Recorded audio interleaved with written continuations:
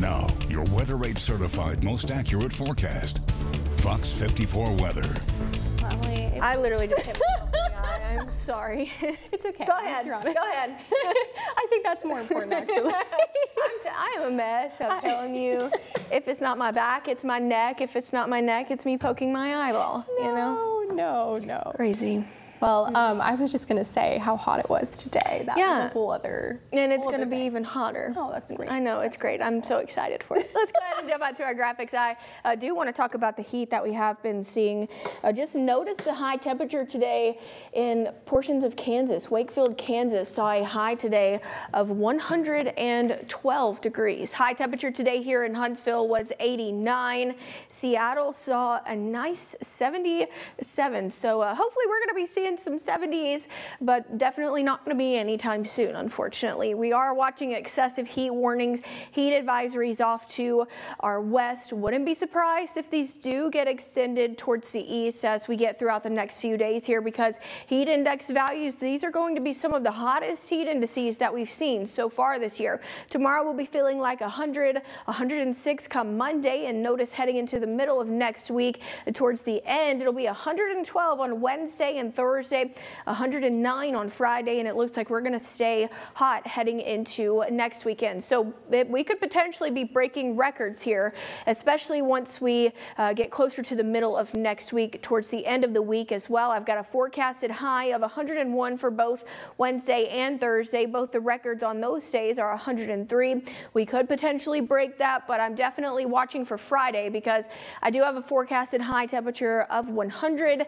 The record is 99. Now, we are seeing all of this heat because we've got this high pressure system that's basically just situating itself over the southeast, so is going to, and that is going to bring in very hot air, and it is going to be pretty muggy out there as well. So definitely not going to be uh, the comfortable conditions that we were seeing earlier this week. Satellite and radar showing dry conditions, a few clouds out there, but we are quiet and we're going to stay that way heading into the overnight. Temperatures right now mid and low 70, 73 in Fayetteville, mid 70s in Huntsville, 73 right now in Athens and in Florence. Fort Payne has dropped into the upper 60s, 68 degrees, and it looks like that's where we're headed for our overnight lows. Mostly clear sky expected, mid and upper 60s across the Tennessee Valley. If you do want to get outside tomorrow and um, roast, it is going to be mid and low 90s. We'll be seeing plenty of sunshine though, so definitely make sure to wear your sunscreen because burn time probably only going to be about 10 to 15 minutes out there. UV is expected to be uh, between an 11 and a 12. We're going to be dry for the next six days, but this time next week I do have a small opportunity for rain, so scattered showers and storms are slowly going to make their way back into the seven-day forecast. Want to talk about the tropics because Tropical Storm 6 has formed, not really expected to become a named storm. It's really just going to be a, what we like to call a fish storm going to die down back in the Atlantic. We're watching four areas for development, though. This one in the Gulf has a 50% chance of development within the next seven days, 70% chance of development for these two that I've just shown you. And then we're watching this one that has just come off of the western coast of Africa, has about a 30% chance of development within the next seven days.